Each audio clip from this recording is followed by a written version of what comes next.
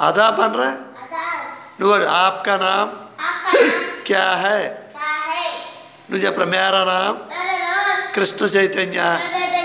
हाँ आप कैसे है? मैं खैरियत। से हूँ